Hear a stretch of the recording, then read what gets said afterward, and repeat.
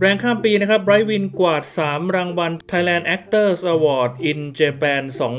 2021ฮอตจนฉุดไม่อยู่จริงๆนะฮะสำหรับ 2 หนุ่มหล่อไบรท์วชิรวิชิวอารี และวินเมทวินโอภาสเอี่ยมขจรนะฮะ ที่ล่าสุดกว่า 3 รางวัล จาก Thailand Actors Award in Japan 2021 นะครับทำเอาแฟนๆ ต่างแห่แสดงความยินดีกันมากมาย ต้องขอแสดงความยินดีนะครับกับความสำเร็จในครั้งนี้ของ 2 หนุ่มนักแสดงสุดฮอตขวัญใจแฟนๆทั่วโลกนะฮะ อย่างหนุ่มไบรท์วชิรวิทย์และหนุ่มวินเมทวิน ที่ล่าสุดใน Instagram ของ GMMTV นะครับได้เผยภาพทั้งคู่ที่กวาดรางวัลจากงาน Thailand Actors Award in Japan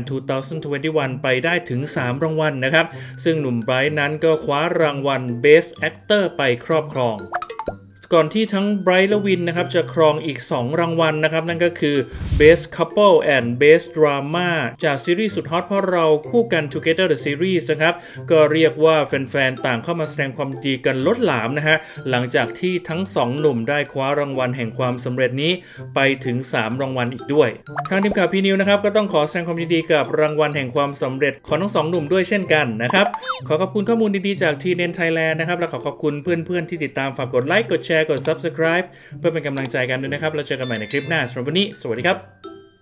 ติดตามห้องข่าวพีนิวได้ทาง Facebook Twitter และ IG หรือสแกน QR Code ที่ขึ้นอยู่หน้าจอได้เลยนะครับสำหรับคุณผู้ชมที่รับชมห้องข่าวพีนิวทางมือถืออย่าลืมกด Subscribe ตรงนี้ด้วยนะคะ